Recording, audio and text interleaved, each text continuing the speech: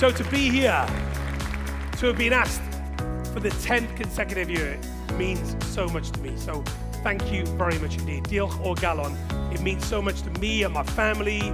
You know, we all use the NHS and we realize just how important you all are to our everyday lives. So thank you, thank you, thank you. These awards serve as a platform to recognise excellence, innovation, compassion, accountability and commitment, all the core values of nursing.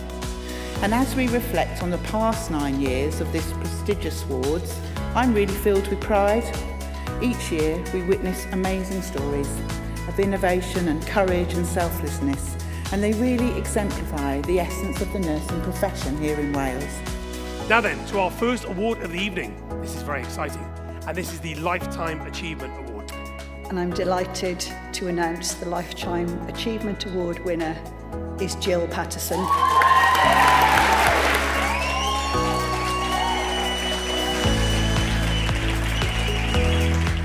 The winner is Cara Mazik.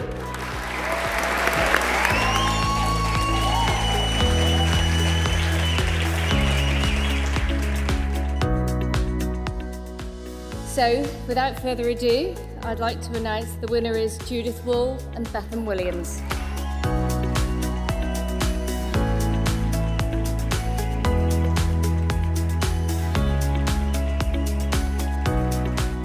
Behalf of everybody who works for Welsh Health Specialised Services, I'm delighted to announce that the winner is Heather Fleming.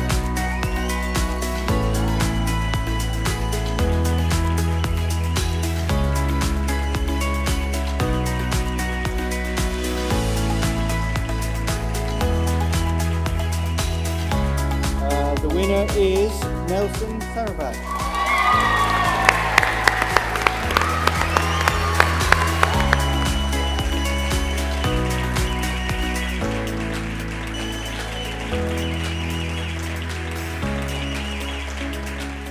So our Nurse Student Award of the winner is Austin Nicholas.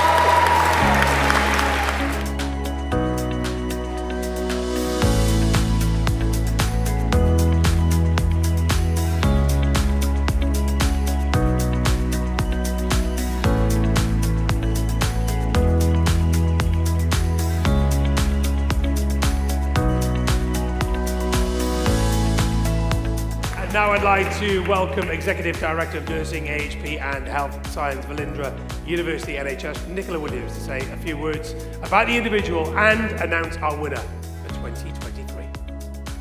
Good evening. I am delighted to be here on the stage tonight on behalf of Velindre University NHS Trust to present the overall winner of 2023 RCN Wales Nurse of the Year.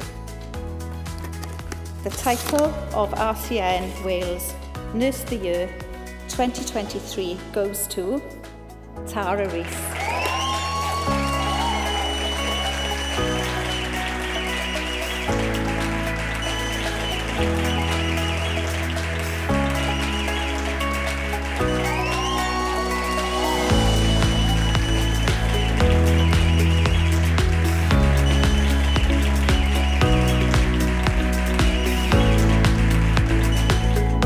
I've been absolutely, um, I've been so, so lucky in my nursing career that I've worked with the best people. I've worked with some fantastic hepatologists. I've got Andy Godkin, I've got Tom Pembroke, Dr. Sundaraj and Brajesh Shavastava who've always given me the guidance.